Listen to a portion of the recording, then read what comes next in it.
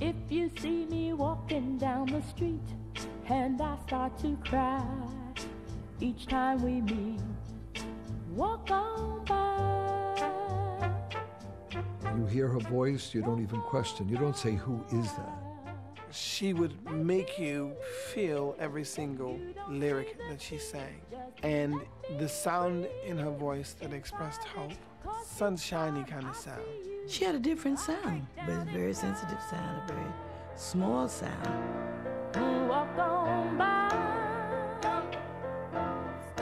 The way she used her voice, her microphone technique, um, her breathing, everything about her was spectacular. She has a haunting voice. It gets to you. It stays there forever. She stood out as a magnificent ballad singer with that very, very unusual voice of hers. She didn't fit any category.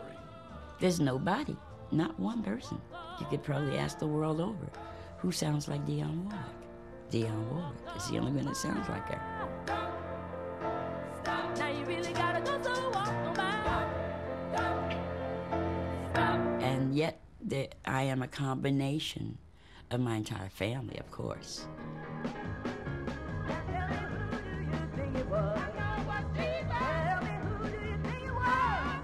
Marie Dion Warwick was born on December 12, 1940, in a middle class suburb of Newark, New Jersey, East Orange. The oldest of three children, Dion was part of a gospel dynasty. Her father, Mansell, promoted gospel records, and her mother, Lee, managed the Drinkard Singers, a group comprised of Dion's aunts and uncles. My dad was uh, probably my best friend. He was a pillar of strength, as is my mom. My grandfather was a minister, and my mother's family sang gospel, and her father was a deacon of the church. And we were there from sunup to sundown. Our street was virtually the United Nations.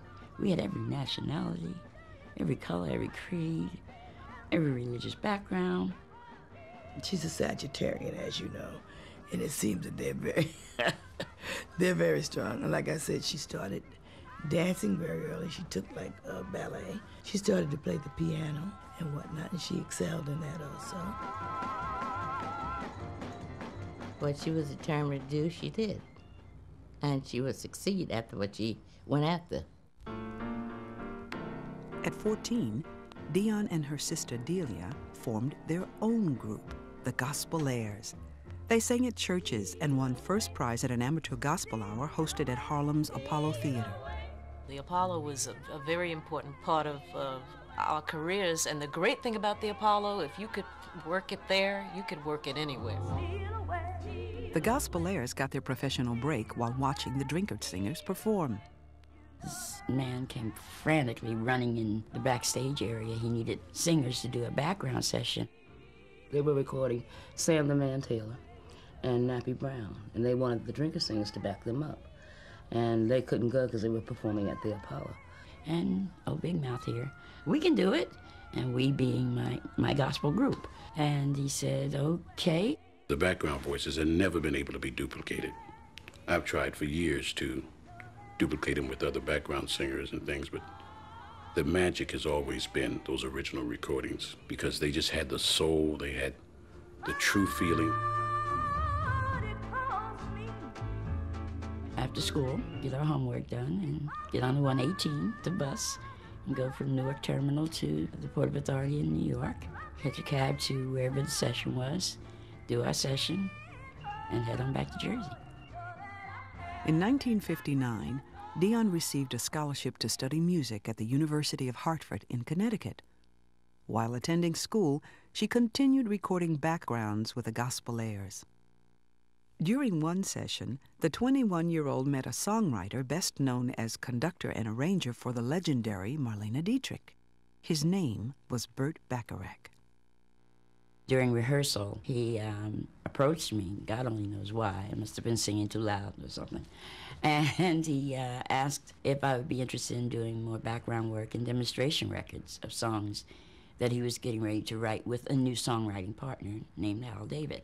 One day she came up and she spoke to Burt about uh, doing some demo records.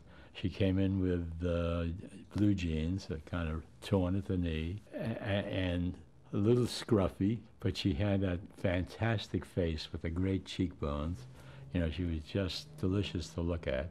She looked like a star when you saw her with the group of four of them like that. Dion looked like she had the goods. Dion recorded demo versions of the writing team's songs, which were then pitched to the record labels. So we took that demo, and it's Love That Really Counts, and a couple of others we had done to Florence Greenberg. She was a woman in the 50s that started a record company with three young black artists, you know, that she saw at her daughter's high school. She was a definite pioneer. She owned Scepter Records. Florence was the mother of that company. Every artist on the label were her children. In 1962, Florence signed Dion, then Bacharach and David. They would compose the majority of her songs and produce her albums, while also supplying songs for other Scepter artists. The first record we made, for, we, wrote, we wrote specially for Dion. R&B and pop stations played the single. Scepter released Dion's first album filled with many of her original Bacharach and David demos and misspelled her last name. After three years of college, Dion Warwick left school to make time for her burgeoning career. I think the marriage was incredible with the three of them because she gave it that little thing, you know, she gave it that thing that you know, where they would say that soul thing, but not just that. It had, you know, that sexy thing that happened with it. Hello, she can go that high and she can sing that low. She's that flexible, she can sing that strong and that loud and be so delicate and soft too. We could see what she could do. The former backup singer became a star after only her first single. She headlined at the Apollo and appeared on local and national dance shows, along with other popular acts.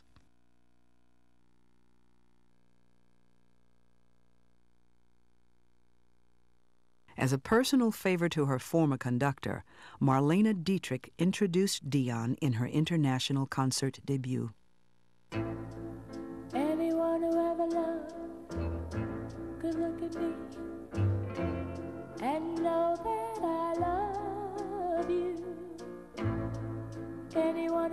Dreamed could look at me and know I dream of you, knowing I love you. Oh, great taste. Oh, the gowns that she would wear.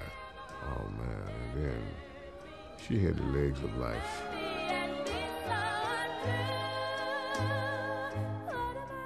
I went to see Ella Fitzgerald. I went to see Sarah Vaughan. I went to see Sammy Davis Jr. at the Copacabana. I went to see Frank Sinatra.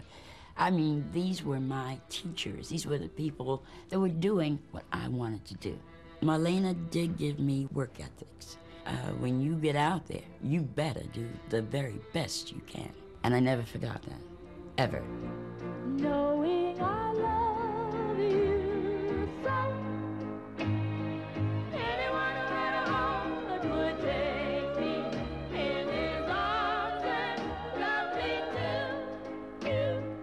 She still does this, but she would stand and sing hit after hit after hit, not talk between, and she mesmerized the audience. I don't care who's been on it before me or who's going to come on it after. While I'm there, it's all mine.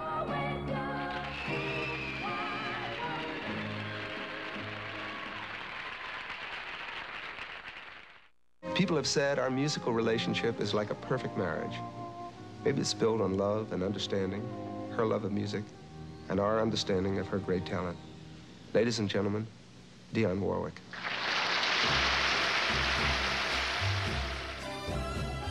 In 1964, less than two years after releasing Don't Make Me Over, Dionne Warwick had become America's top-selling female artist we started out with a hit immediately, which is not easy to do, but it happened.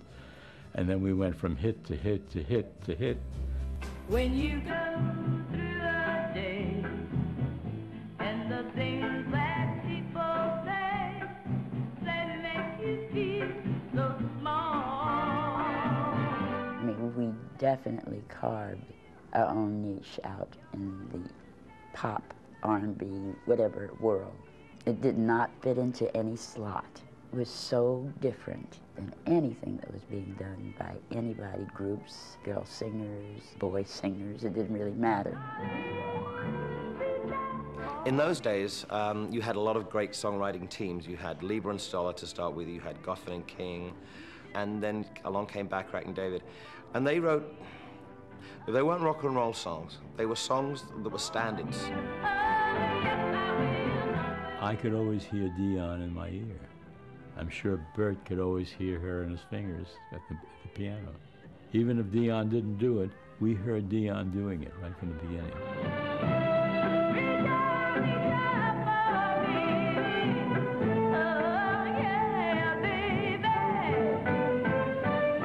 Dion's voice suited their songs tremendously because they were not easy songs to sing. You try and sing a Bacharach David song, um, just timing-wise, tempo-wise, key-wise, the range of the song. Um, they're very difficult songs to sing well. So let me hide the tears and the sadness you gave me when you said goodbye. And Burt would take 60 takes if it took that. Everybody said, now wait a minute. He says, come on, come on, one more time, one more time, just one more. and we do it. There are no five four bars and there are no seven eight bars and Leave two it to you. Two Just- octaves?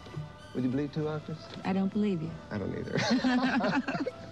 you want to try it a little from the top? Walk on by. Really? How does that feel? Do you Sounds groovy. I love it a lot. I mean, we haven't even gotten through it. No, it's going to be groove. So let me hide. She took it to another level, which crossed over into the pop field, which made it great for people like myself and other black artists, because she gave us that other step to go on. I went to the Apollo and decided I was going to sing people. Bobby Schiffman, who had taken over, said, You can't sing people up here. They won't understand what you're talking about. This is not the audience for people. I said, You crazy. And not only did I sing people, but I got a standing ovation. And when I walked off stage and looked at him, he was as red as the blouse you have on. Basically, I was known then as the little girl who brought downtown uptown. Well, they didn't expect that of it. That's what made it so phenomenal. You know? For somebody to come out and, and, and sing those kind of songs. That had only been white people. I hear the music coming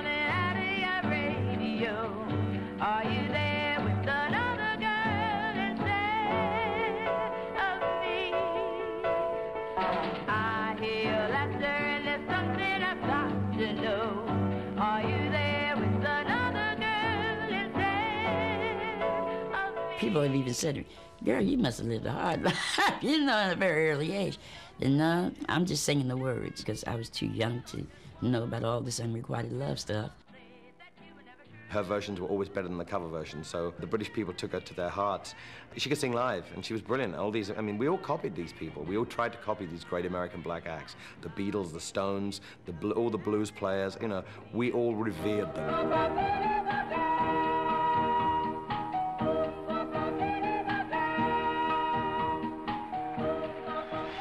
At 25, Scepter Records' top artist blurred the line between R&B and pop, becoming the first black female to record a dozen consecutive top 100 singles.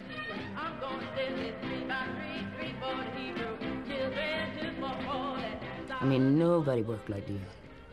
42, 46 weeks a year. But that's what Dion has always thought of it as. This is my job. This is what I do. And then she went to college while she was on the road. And uh, she did uh, very well. And I was very, very surprised and proud of her.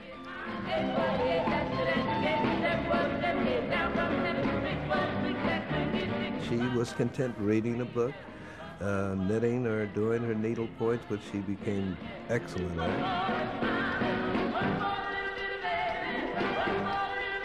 She comes from a good family, religious family. Mother traveled on the road with her. Never seen Dion out of line. never known Dion to be on drugs.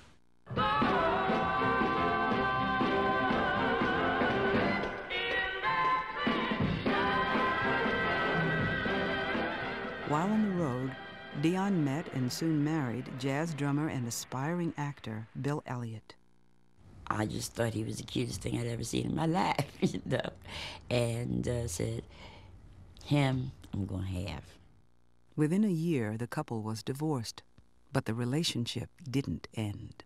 I wasn't ready, really. I just figured that, well, it's just fashionable. You're supposed to be a married lady, get married. And so I did. And found myself not really happy with the situation. I couldn't do my thing like I usually did. And it was just a case of can't do with and can't do without. That's why I married him again.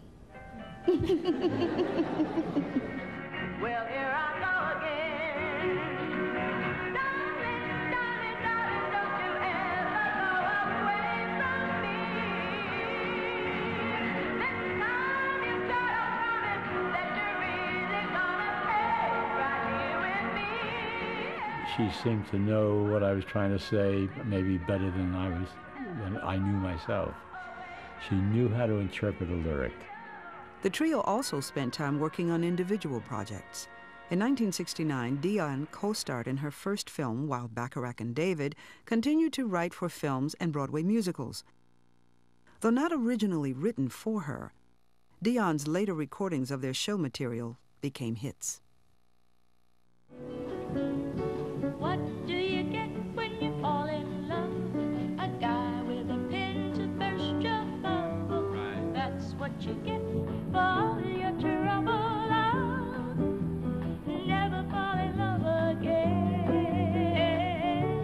Their stuff got a little more theatrical and a little, a little more pop sounding.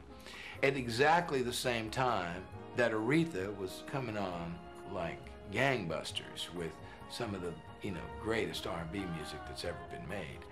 So Dion was getting a little bit of a rap from radio that her stuff was getting too white. In an era of political and social unrest, some young people found the music of Warwick, Bacharach, and David irrelevant. Well, how black do you have to get? Is what I'd like to know. You know what I'm saying? What is black enough? If, if we wrote R&B to write R&B or pop to write pop, th- that wasn't the way we did it. We, we were always trying to write the best song we knew how. And what I do best is sing. And it doesn't matter what it is, I sing.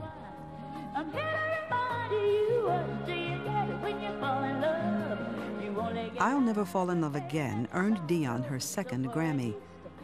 By the end of the decade, the trio had sold over 12 million singles and albums, and capacity crowds around the world eagerly awaited Dion's 30 minute medley of her hits.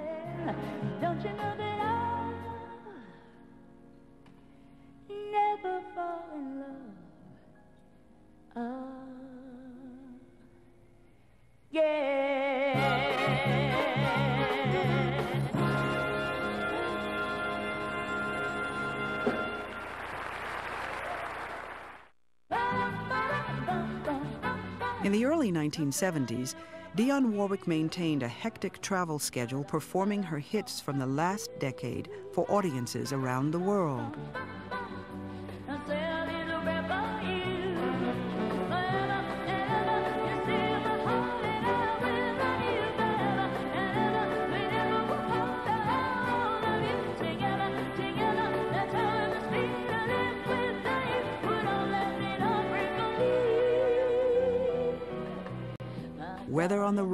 Home, Dion was always with family.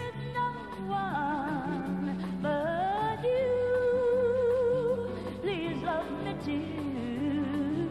Well, that was a period also that a lot of us were uh, seeking spiritual advice, guidance, and so psychics were popular then.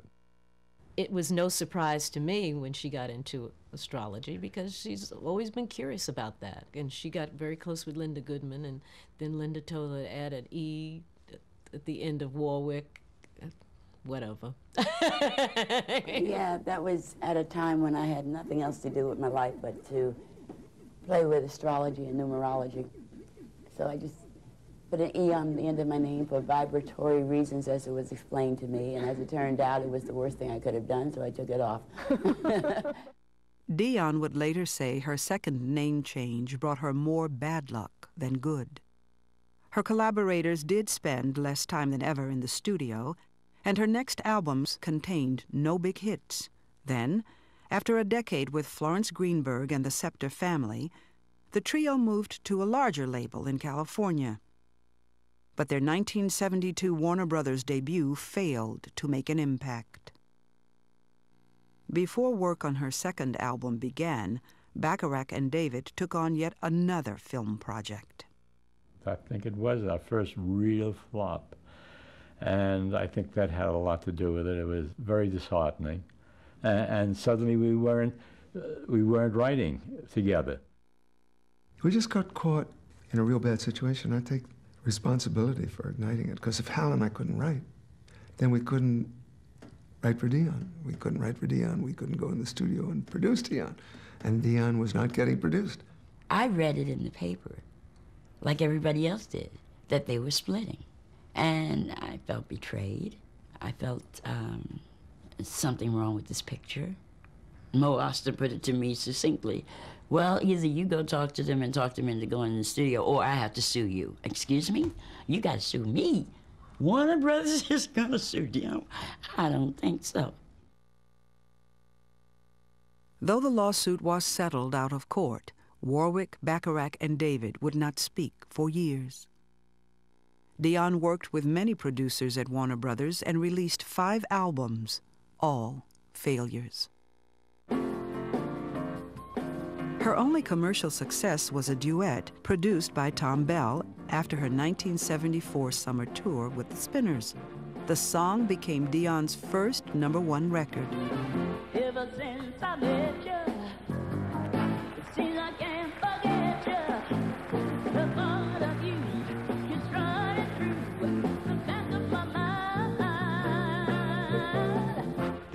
Private person. She doesn't talk about people, and she doesn't allow you to talk about people. So, when uh, the divorce came about, you know, the, those of us that were very close were shocked.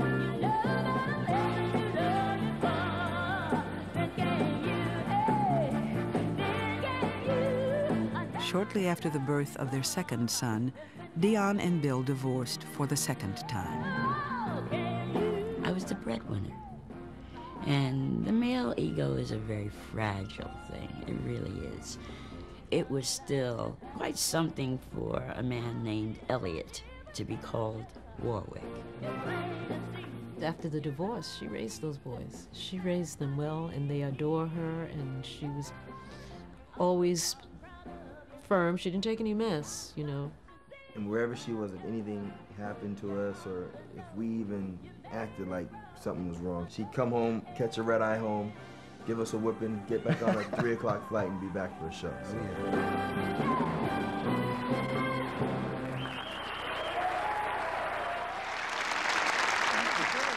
Ignored by radio stations in the late 1970s, Dionne found new ways to showcase her hits, teaming up with R&B artist Isaac Hayes on a world tour. I mean, she just took to it because having those gospel roots, you know, she, she had it. It was she always had it, so she could just make that transition with ease. Mansell and Lee Warwick often accompanied their 38-year-old daughter on the road, but on June 16, 1977, home in New Jersey between concert dates, Mansell Warwick had a massive heart attack and died. The next day, Dion's mother suffered a stroke. Everybody calls Dion. Dion's everybody's big sister, you know. For the first time, she was the one that, that needed to be surrounded with love from friends. And so was Tough. I said, relax.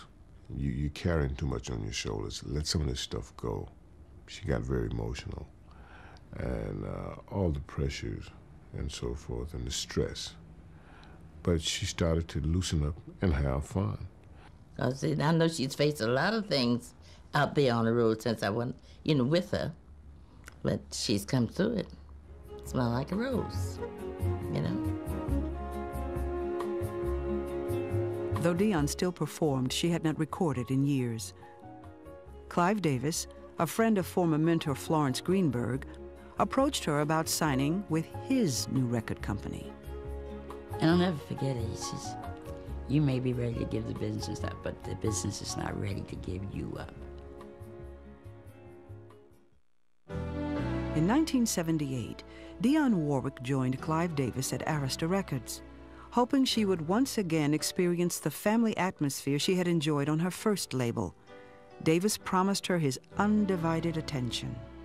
I just knew that I needed a great voice because I was getting these songs in. And so I said, I got to look around. I mean, I've got to find a female artist who was unique, a writer's dream come true, who could bring out meaning in a song that even the writer didn't know was there. It was wonderful for her. It was like, you know, like giving someone good medicine, you know, because she was feeling like, has the business forgotten Dionne? Davis wanted his top male artist to produce Dion's first album. I remember, you know, rolling up my sleeves and saying, well, if I'm going to do this, let's see what could I do? What could I do possibly that would that would compete or compare with her fantastic catalog of music.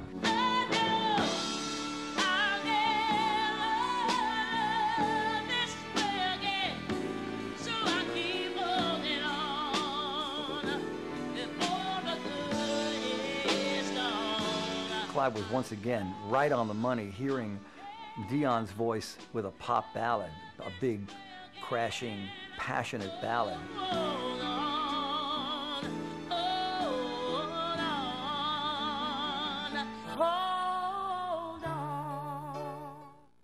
After a decade filled with personal and professional upsets, Dion had come through what she called a test from God. She became the first female artist to win Grammys for Best Pop and Best R&B performances in the same year. A million seller, the album Dion remained on the charts for a year.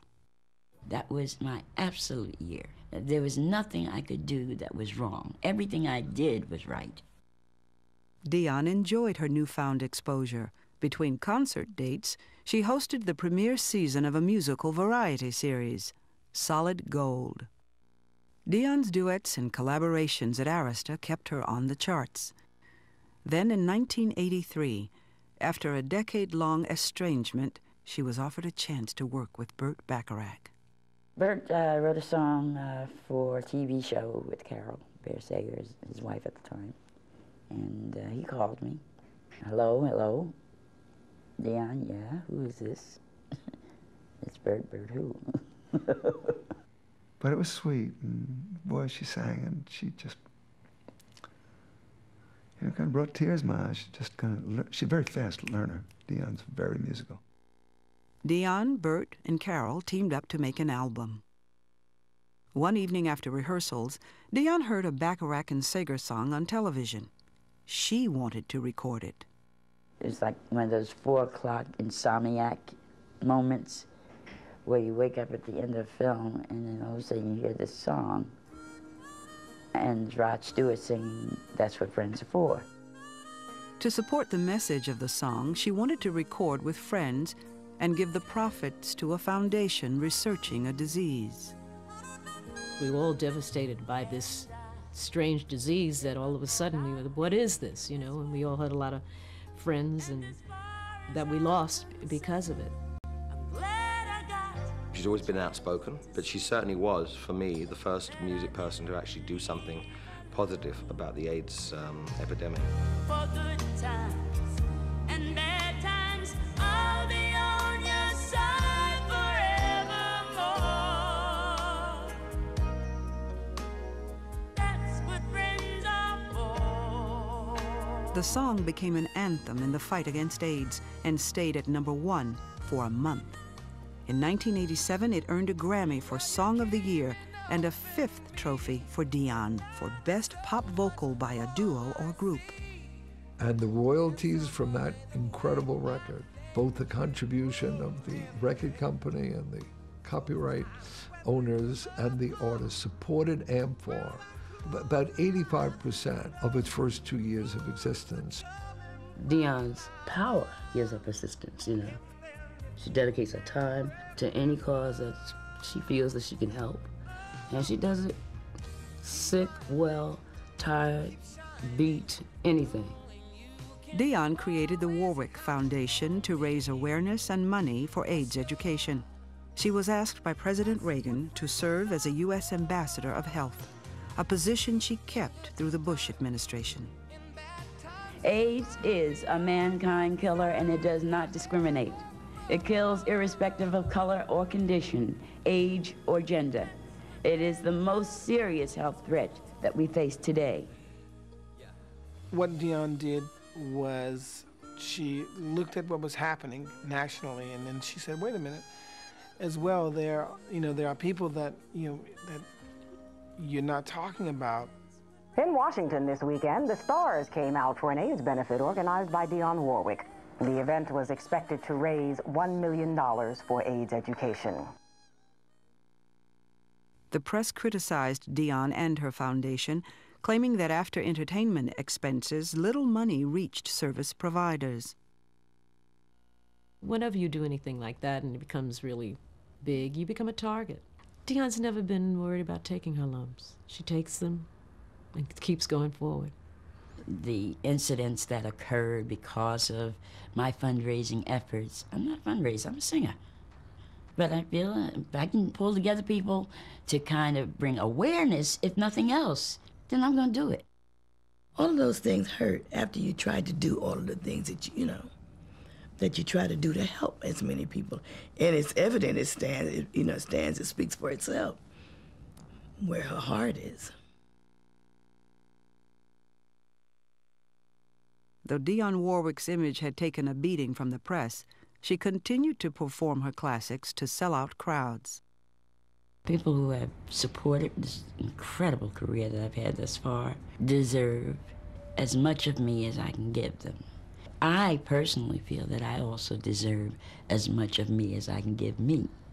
And that part of me is nobody's business but mine. This is a true story. I leaned over to her and I said, you know, I made more love, I made love to more women to your music. I just have to thank you.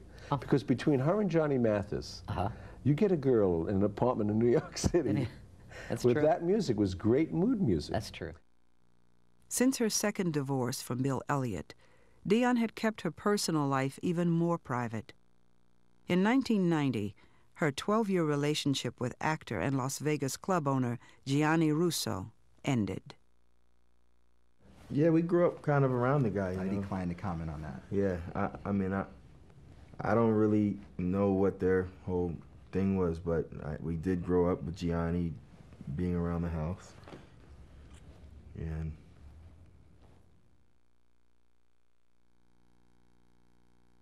After a long absence, she returned to the studio to record an album of new material. She looked to her former collaborators for help. Neither the song nor the album, which featured a duet with cousin and Arista label mate Whitney Houston, made an impact on the pop charts. And Dionne, for me, has never been about having pop hits. She's about being a truly great, lasting artist that will be as good when she's 80 as she was when she was 20. It's tough in today's radio world to compete in the hit singles business so that it takes your attention elsewhere. Always fascinated by astrology and psychic phenomena, Dionne signed on to host a new half hour infomercial. Yes, it did confuse a lot of people, but truly, believe me when I tell you, she is not a psychic. And I don't think it was any flaw in her character as far as um, her beliefs are concerned. She was supporting or something that paid her money. Let's get right down to the nitty gritty, okay? So people can change their People destiny? can change their future and change their, their destinies through prayer and positive thinking. I know that uh, Dionne's a firm believer in the power of prayer. Now, what about what about Dionne? What about uh, Well, Dionne doesn't what's even in know her this future? because about a month ago, I said it'd be two years before I saw a man in her life, and she's not talked to me since then. How do you? I asked. I said, "Well, Dag, ma, you know, how are you gonna like handle this? I mean, people are starting to really come with the jokes, and and it ain't funny. You know, they're coming with all of that about you being a psychic. I said, I'm not a psychic. I am the host of this show.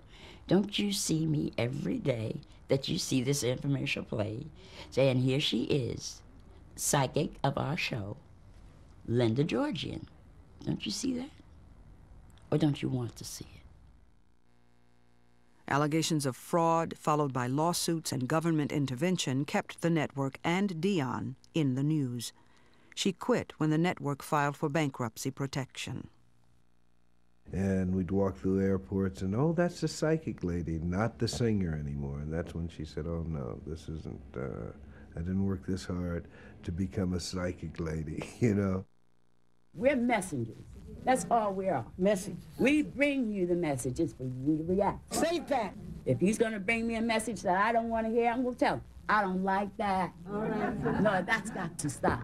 It's got to go. Talk loud. And we collectively can make that difference. This is our responsibility. It's not my responsibility, it's our, our. responsibility. In the mid 1990s, Dionne participated in congressional hearings on controversial music lyrics. I called Dave lightweight freaking out, like, oh my God, you know, but he's like, hey, that's mom. Talk to her. Not all rap music, because some of it is absolute poetry. It does give you, you know, what is happening in the neighborhood, but not keep you there. And that's what gangster rap was doing. She said, Damon, I got an idea. Do you think that the hip hop community will embrace me? And I said, No, I don't really think so. So she said, Well, what can we do? I said, Well, let's try and do a song, you know.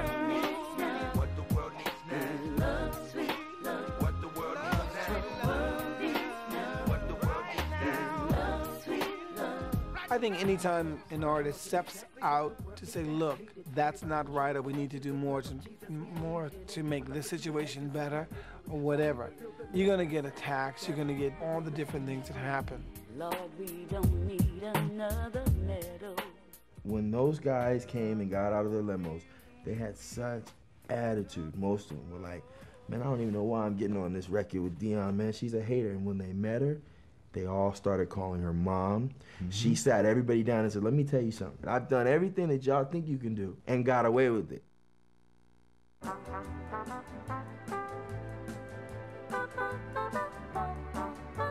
I think that Dionne gets all of her soul from the gut. Even though what comes out of her mouth sounds so effortless, I think that she's happiest when she can dig deep inside, and I think she goes right back to the church.